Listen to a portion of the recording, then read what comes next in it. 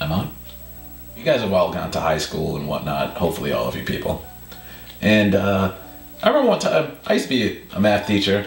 It sucks when you're teaching kids and nobody wants to learn jack shit. I mean, nobody wants to learn anything. I don't even know how they got to algebra. I don't know how they got into geometry. I don't know how they got into fucking trigonometry. Anyways, to show you how dumbed down the system has gotten, that's right, gotten, I remember I gave the kids an exam and I was like, you know what? Just to make it easy for you, I'm just gonna write down everything that's gonna be on this exam on the board. You know what? With the work written out and the answers and everything. Wrote everything out for the students. All they had to do was take notes. Just jot down everything I have on the board. And you know what? I'll give you an extra credit question that you don't even see up here. But you know what? I'm gonna write down the extra credit question right over here. So that you can work on it and figure it out yourself, if you so desire. It'll give you 10 extra points. There's a class of about maybe 20 students. First of all, how many students showed up? Like 12. How many students out of the 12 that showed up actually passed? Not got a hundred, not got like 90 something, not got, how many students passed that exam? Who got like a, a D plus all the way up to an A? Two. One kid got like a hundred, and the kid who sat next to him and cheated off of that kid, that kid got an 85. Everyone else got like a zero.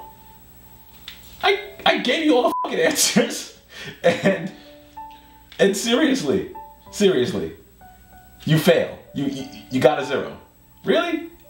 And then when these students up that much, at the end of the year they're like, hey, the freaking principal comes over and is like, I need you to provide extra work for this kid to do so he can have a chance to pass. It's like, really? I'm gonna give him all the work that I gave him for the past couple months that he refused to do in the first place. And you want this kid to pass?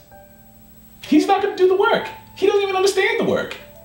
I don't even know how he got to this grade. I don't even know how he got to this math level.